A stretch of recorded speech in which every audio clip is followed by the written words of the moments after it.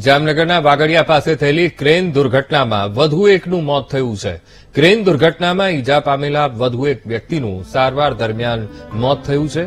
દુર્ઘટનામાં અગાઉ એક વ્યક્તિનું મોત નીપજ્યું હતું, ત્યારે અન્ય એક વ્યક્તિને ગંભીર ઈજા થતા સારવાર અર્થે હોસ્પિટલ ખસેડાયો હતો. રાજકોટની ખાનગી હોસ્પિટલમાં સારવાર દરમિયાન તેનું મોત થયું છે.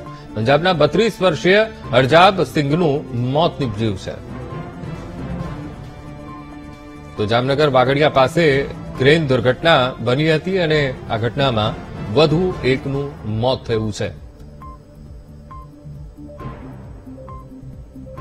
તો ક્રેન દુર્ઘટનામાં ઈજા પામેલા વધુ એક વ્યક્તિનું સારવાર દરમિયાન મોત થયું છે. આ પહેલા પણ એક વ્યક્તિનું મોત થયું હતું. તો બે વ્યક્તિઓ આ દુર્ઘટનામાં ગંભીર ઈજા થઈ હતી અને એક વ્યક્તિનું તો મોત થઈ ગયું હતું અને આ અન્ય એક વ્યક્તિ જે છે, એને ગંભીર સ્થિતિમાં હોસ્પિટલમાં દાખલ કરવામાં આવ્યા હતા અને જ્યાં સારવાર દરમિયાન મોત થયું છે.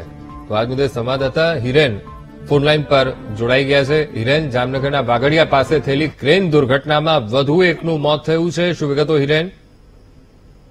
જી અંકુર ચોક્કસ જણાવ્યું કે જે જામનગર ગ્રામ્ય વિસ્તારમાં જે ફોન ચક્કીના કામ ચાલે છે, તેમાં થોડા દિવસો પહેલા જે ક્રેનની દુર્ઘટના બની હતી, તેમાં ત્યારે પણ લોકોના મોત થયા હતા. ત્યારે હજી પણ અનેક લોકો આ દુર્ઘટનામાં ઇજાગ્રસ્ત લોકો સારવાર લઈ રહ્યા છે. ત્યારે આજરોજ જે પંજાબનો એક વાહન હતો, તેનું પણ આજે સવારે મોત થતા સમગ્ર પંથક તેમજ જે સ્થાનિક અને અહીંના જે તે ગામના આગેવાનો છે, તેમાં પણ શોકનું મોજું ફરી વળ્યું હતું. જી અંકુશ. બિલકુલ હિરેન, સમગ્ર માહિતી સાથે જોડાવા બદલ આપનો આભાર.